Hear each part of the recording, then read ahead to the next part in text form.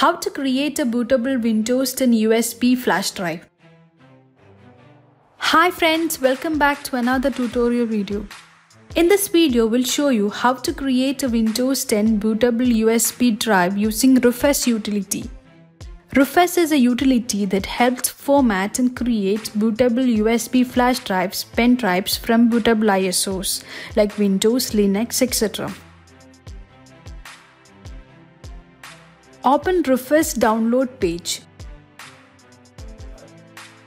Under the download section, click the latest release of the tool to save the file on your device. Run the downloaded tool.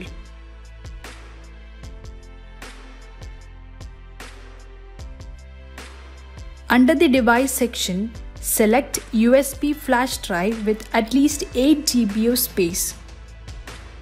Under the boot selection section, click the select button on the right side. Select the Windows 10 ISO file from its folder location. Click the open button.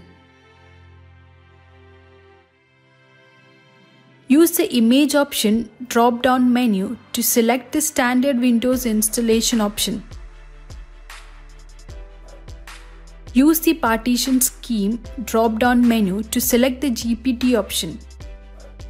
Use the target system drop-down menu to select UEFI option.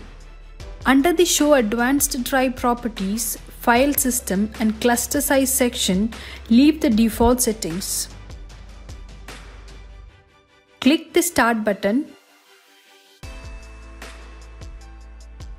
Click the OK button to confirm.